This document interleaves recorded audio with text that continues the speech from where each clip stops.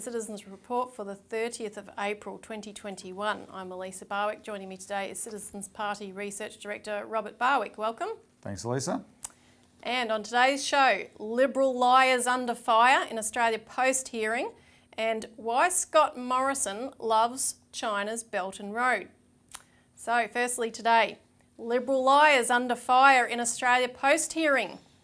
The second round of hearings uh, held by the Senate committee investigating the uh, standing down of Christine Holgate and associated events got very fiery on Tuesday, and in fact, the fights that ensued were rather emblematic of Australian politics as a whole at the moment because they were characterised by our role, the Citizens Party, and other collaborators being yep. raised, Labor and Liberal colluding to defend the privatisation agenda coalition infighting, and the crossbench bench senators actually taking the leadership. Lisa, I was there in the room. It was an extraordinary hearing. Um, we're going to show a few video clips just to set the scene, though. This really shows you that this issue is heating up. I say to the viewers of this program, you are responsible for this and you must take responsibility for this. It's, this is a grassroots campaign which we've led in the form of providing the, the information that, that showed people the context for the watches and, and that, that there was a bigger agenda. We've proven that, right? And now the, the, the, the, the, parliamentary process is all over that. And what you've got is the government dug in to try and um, cover their position, right? And they've got this liberal stacked board they were also, that, that was uh, interrogated at the hearing, and they're dug in to cover for the government, right? You had the woman who initiated the whole attack, uh, Kimberley Kitching, there on the left of the table. You had this Liberal Senator, attack dog Senator there, Sarah Henderson, on the right of the table. They were the only disingenuous members of the hearing. In the middle, you had Sarah Hanson Young, who did a good job as the chair. Um, a Labor Senator, Kim Carr, is genuinely interested in getting to the bottom of this, and he does a, a great job. Senator Bridget McKenzie did an excellent job, and in, not just in interrogating the witnesses, but fighting her coalition colleague, Sarah Henderson, and then Pauline Hanson did some brilliant stuff, which, which we'll show. But let's start off with the big one because they launched an attack on us, and this time, uh, last time it was Kimberley Kitching attacked me, this time it was Sarah Henderson attacked me um, including being astounded that I was even there. So let's play this clip. Uh, uh, look, I just want to um, go to an issue of great concern, one that um, Senator Kitching also raised. You've stated that the LPO group ran a phone campaign aimed at the offices of Ministers Birmingham and Fletcher. Was this coordinated with the Australian Citizens Party?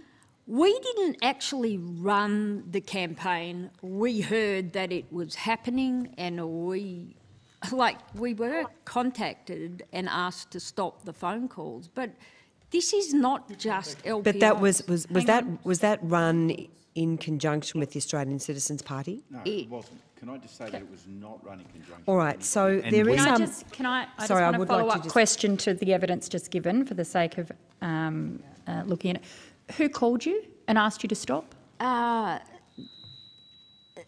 Senator Fletcher, uh, Mr. Fletcher's office. Minister Fletcher's office. Yeah, okay, Ryan, thank you. Senator Henderson. Thank yeah. you very much, Chair.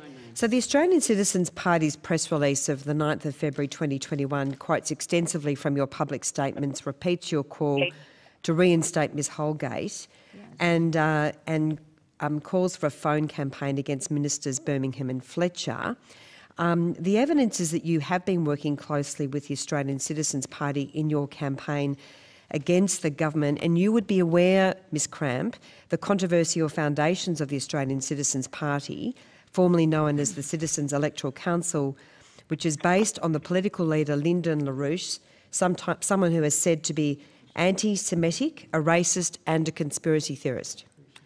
And I might suggest that somebody said Christine Holgate had breached or misappropriated taxpayers' funds. So can I just you can't ask you to believe can I just ask well, you to answer that question? Okay, we have a business that relies on the citizens of Australia. I have no understanding, and I really don't care what the Citizens Party represents. They are citizens of Australia. They are aligned with us. They think Australia Post should be offering a, a, a postal bank. So that's they fine. Are, so they are aligned with you. In fact, Mr. Barwick, and I think Senator Kitching raised Mr. Barwick uh, in her questioning of Ms. Holgate. Ms. Holgate actually thanked um, Mr. Barwick. Uh, he is associated with the, the Citizens Party, and he's actually in the room I understand. Yes, I think he's very interested so in could this. we could we just understand right? So he's in the room. He's just made. He's just published a tweet supporting you. Well, that's great. They are supporting us. They are citizens of Australia. Are you saying that the citizens of Australia should not be supporting Australia Post?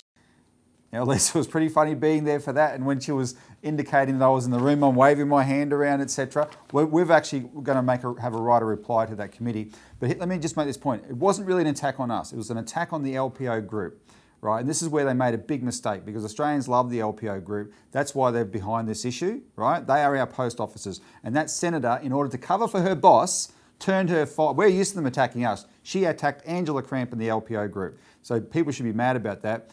We did, but she, then she resorted to this fake outrage. We're going to play a clip now where you'll see what she says at the end. You'll hear her at the very end after attacking Angela, um, and listen to the words she used, and then we contrast it with something that should sound very familiar.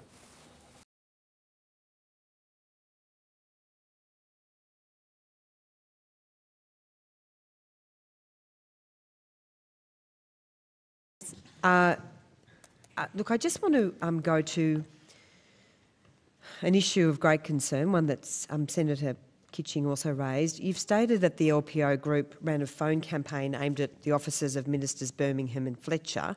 Was this coordinated with the Australian Citizens Party? We are not supporting the Citizens Party.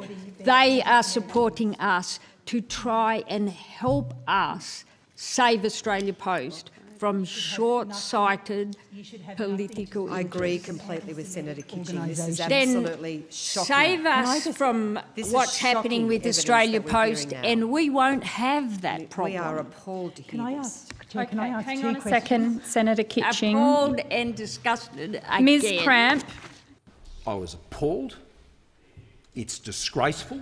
Senator Kitching. Appalled and disgusted again. Ms Cramp. I was appalled. It's disgraceful.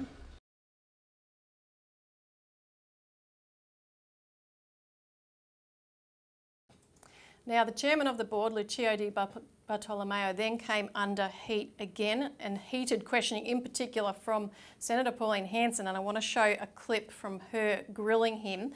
Um, now, firstly, however, Sarah Henderson had cited two emails written by Christine Holgate in the two or three days after she was thrown under the bus by Prime Minister Scott Morrison on the floor of Parliament. And because they said things like, Rodney, thanks for leading, leading, referring to Rodney Boys taking over the CEO position, and also uh, as I step away from the organisation and let Rodney lead. Dot dot dot. Sarah Henderson stated it was her belief that it's very clear Ms Holgate did agree to stand aside. Well, Pauline took issue with that, as you'll see, and you'll see his reaction. Senator Hanson, given that I was the other party to that conversation, maybe it's relevant to take my. No, it isn't, uh, Mr. Bartolomeo, because I'll tell you what, they are at the board meeting. And I am asking the board members these questions, not what you're telling me. I want to hear from the board members. Well, now, from the board members, board they are only taking your word for it. There's no Correct. evidence to show that on that night of the 22nd of October that you actually came to an agreement with Christine Holgate. Well, so there I will go back to the board. Thank you very much. There's the email correspondence, Senator Hanson. Now, in the Miss West, where are you aware that Mr. Tony Nutt was to be in correspondence with Christine Holgate via email and telephone conf um, conference uh, at the same time you're having your board meeting. Were you aware of that? Uh, Senator, what my recollection of the telephone calls, and as, as we've discussed, and as we've discussed already, um, that was in three parts. Uh, during the course of that phone call, um, I was aware that, that, that Mr. Nutt was in communication with Ms. Holgate um, I understood, this is my personal understanding, that Ms Holgate had reached out to him uh, and was seeking his um, or was discussing with him the course of action. Uh, when he came and went from our phone call, I, I don't recall, and I've got obviously got no record of that. Um, so yes, I was aware that there were conversations going on between Mr. Nutt and Ms. Holgate. Can you please explain to me then, if the chair advises the board, now the meeting went from four o'clock via tele teleconference, from four o'clock till 6.20 when it shut, closed down, is that correct? It finished uh, at 6.20? All right. Why, then I, then I want an explanation. Why was Christine Holgate still um, having email um, conversations with Tony Nutt there was one at um, 6.03 p.m. There was one here at 5.49. I have done nothing wrong. I welcome an investigation. I have offered to the Chair to take two weeks annual leave to enable an investigation to be conducted promptly. There was another one at um, 6.41. This is after your meeting had closed. She still says in this one, I have done nothing wrong. I welcome an investigation. I have offered to the Chair to take annual leave to enable an investigation to be conducted promptly.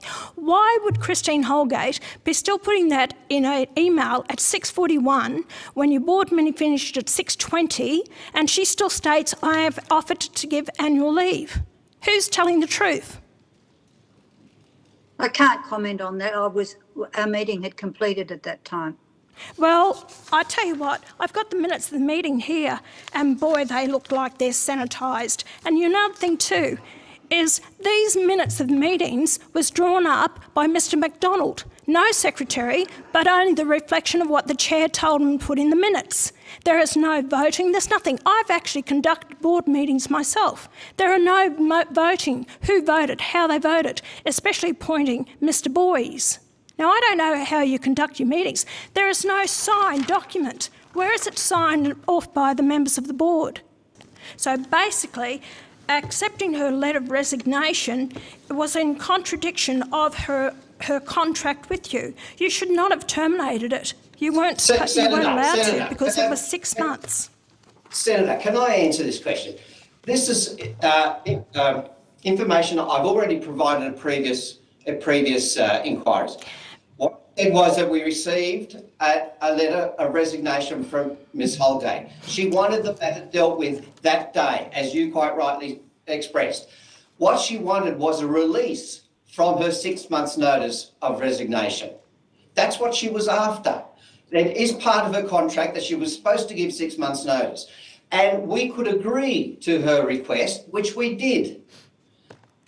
We did agree to you her request. You contravened the... the... contract, Mr Bartolomeo. No, I'm sorry, you contravened the contract. Your evidence doesn't stack up as far as her agreeing to stand down because you never had that personal conversation with her in the afternoon. You did in the morning of the October the 22nd. You never had a personal conversation with her when she was in the car. You did with Sue Davies. The telephone records may show that you rang her number, but you never had a personal conversation with her. You got your you got your orders from the Department of the Shareholder Ministers or possibly the Prime Minister himself. That's why you were on this rampage to get rid of her, and that's why you would not accept her two weeks annual leave. You had to get her to stand aside because that's what they were requesting.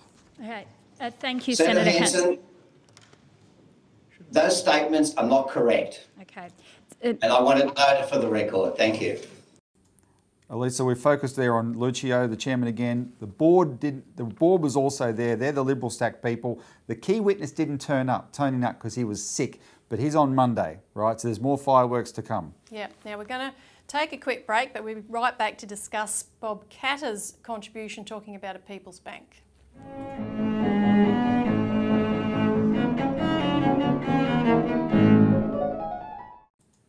Welcome back to the Citizens Report where we're discussing the fiery proceedings in the Australian Post hearings on Tuesday.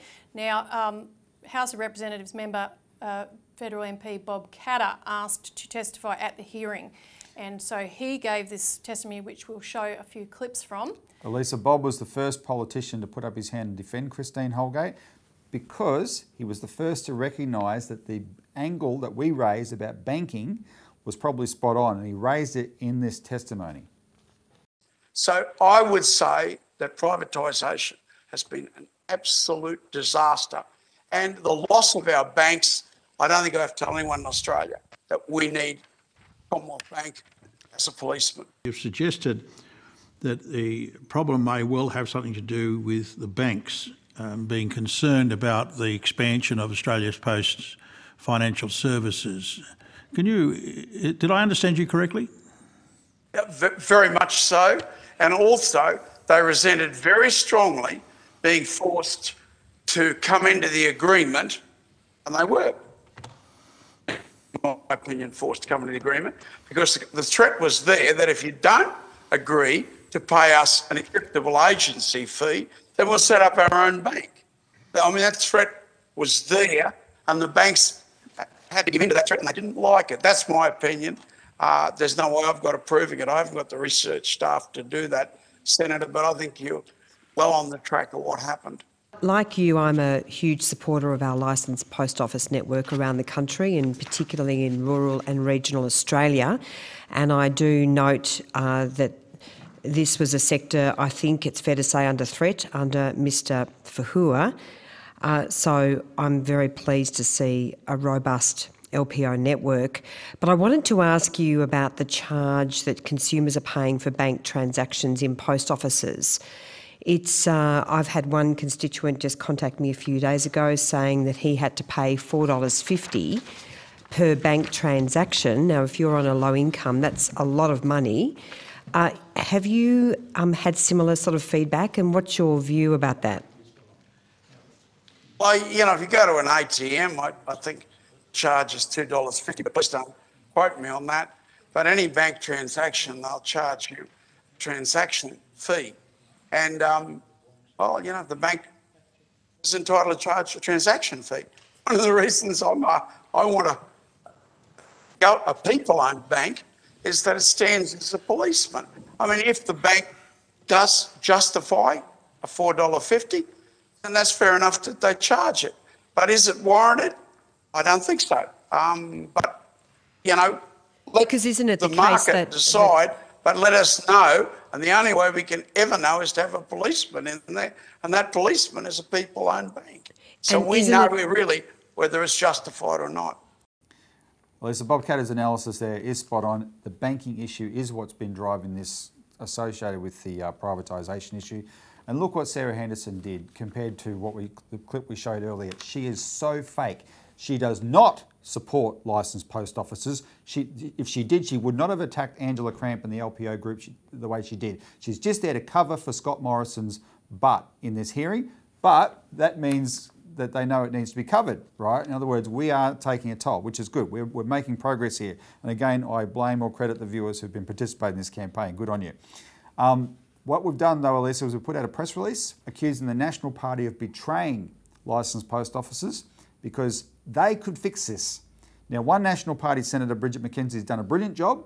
It's because of how good a job she's done that she shows up the rest of her colleagues. They're doing nothing. And in fact, once one the member for Lyne wrote a disgusting email basically blaming it all on the watches, etc. All this time later, honest people know it's got nothing to do with that. We need people to call National Party MPs. They're the weak link here. They could go as a delegation to Scott Morrison office and demand he fix it. A CEO who protected his services for regional Australia, in fact, expanded them and, and saved Australia Post and licensed post offices in the process, should not have lost her job because of political intrigues. And that's all it was. Nothing to do with watches, just political intrigues. Should, that should not have happened, and when it does happen, it should be reversed. And they can make that happen, mm. right? We need people to call them up and hound them and say, you fix this. Mm, put the heat on before Monday because, as we mentioned, the hearings are back on Monday. Yep. Now, it'll be very interesting to see what comes from a bit of heat being put onto Tony Nutt, but also Lucio, will he crack this time? Because he will was... the nut crack or will Lucio crack? remains to be seen. Something's going to crack. Now, we'll be right back to discuss um, another issue on the Belt and Road Initiative.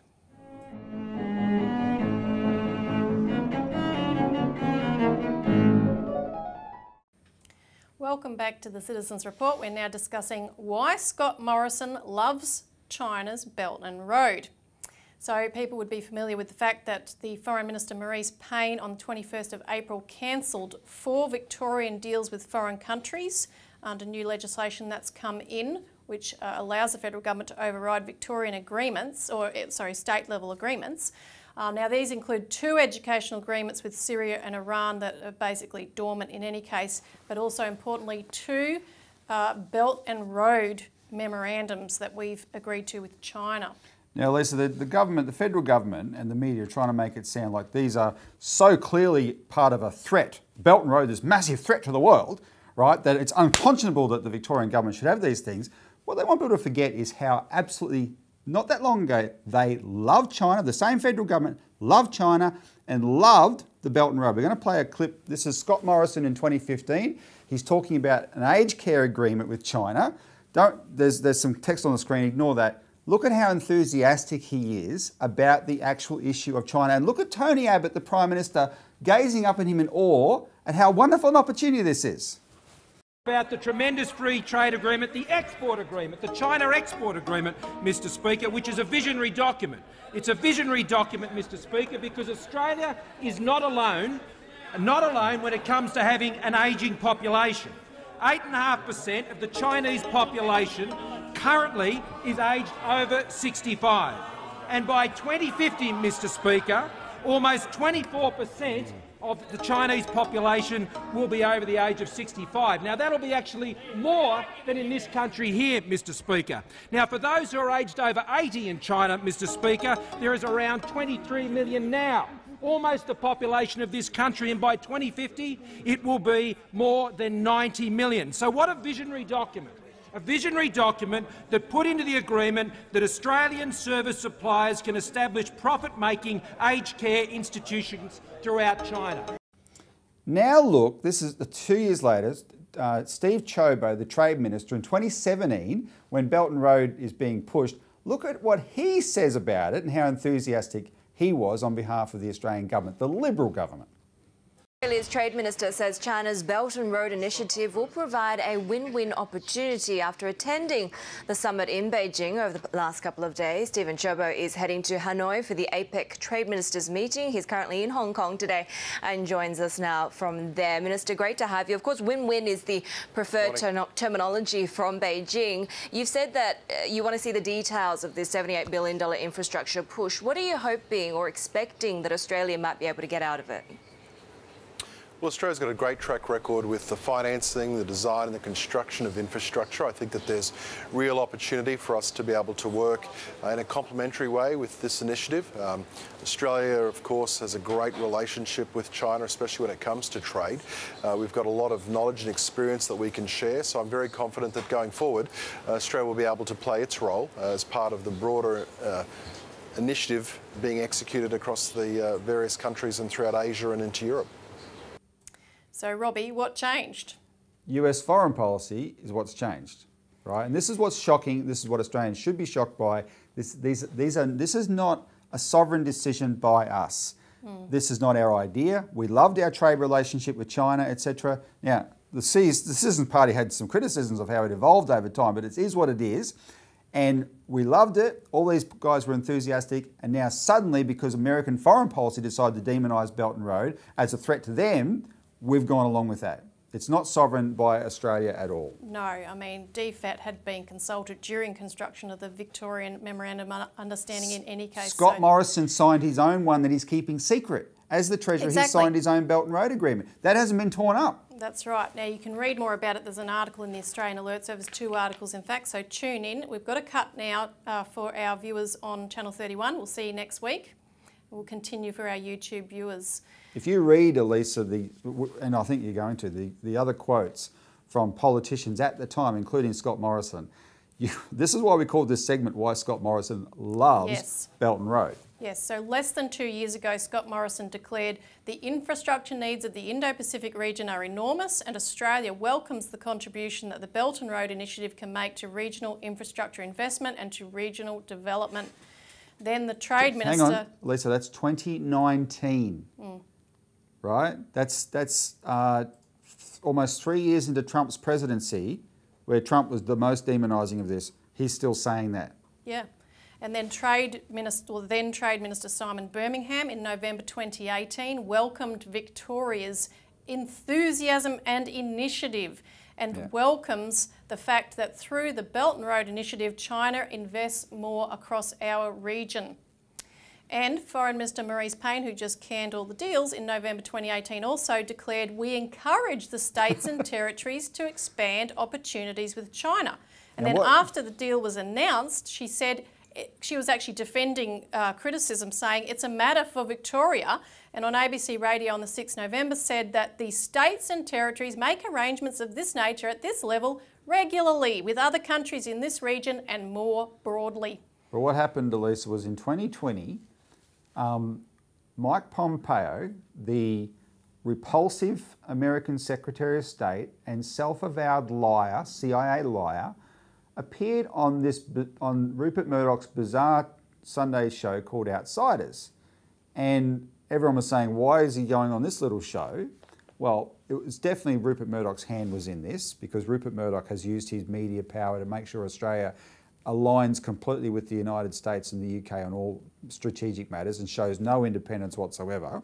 So he goes on there. He's asked about Victoria's Belt and Road, and he threatens that if that um, America would cut off uh, sort of you know intelligence sharing and all that sort of Five Eyes mm. garbage um, if it went ahead. And so suddenly these same politicians who expressed that kind of attitude when it happened showed a bit of an independent streak suddenly went yellow, right? And they rushed this bill through Parliament where they can scrap it. And it's not even once they scrapped it, suddenly the press is full is full of honest analysis of the Belt and Road Memorandum and pointed out it's not binding Mm. There's nothing nefarious in it. In fact, it hasn't even been used. It hasn't started yet. It was still under construction negotiation. It hasn't even been used, and there's nothing. There's literally nothing to it. Mm. But this is such is the nature of the climate that we're in. But one of the reasons that extra reasons that we're pretty cranky about this, you know, apart from the fact that as Australians we want our country to be independent, right, stand up on its own two feet on these on, on the world stage like Malcolm Fraser called for in his book Dangerous Allies, we've got all these exporters that have these markets in China. They are being smashed now. And they're being smashed because we're calling it economic coercion. No, China was economically coerced by Trump with that trade deal, mm. which they agreed to, $200 billion, and they're buying all those things that our exporters send to them. Trump demanded they buy it. They've stuck, China has stuck with that agreement but if we're going to go so slavishly in on America's behalf, like Scott Morrison has, China said, well, if we've got to buy it from them, we're not buying it from you.